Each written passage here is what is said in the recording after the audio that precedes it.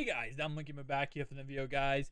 Tomorrow we have some brand new Ultimate Legends coming out in the game.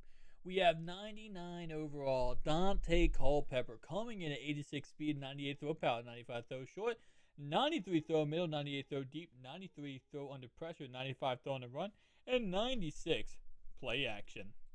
We have kicker Jan uh Denny I don't know how to say his last name, but we're gonna go with Jan. Jan coming in at 99 kick power, 93 kick accuracy. So I'm gonna be interested to see if we actually get some more. Uh, if I can get what one kicker, one punter, I would guess that would be my guess. Uh, we'll have to wait and see though what ends up happening. And finally, our last player, because of course we got the man, the myth, legend, Culpepper. We also got P. Willie coming in at 94 speed, 94 acceleration, 92 strength. 97 tackle, 97 play rate, 94 block shed, 97 hit power, and 83 zone coverage. Honestly, my two favorite linebackers ever, Ray Ray and P. Willie. Both ran number 52.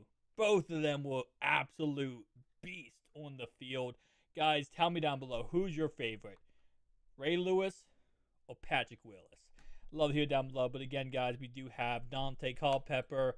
We have Jan and we have P. Willie. Tell me down below your thoughts and opinions, and I'll see you guys in the next one. Peace out.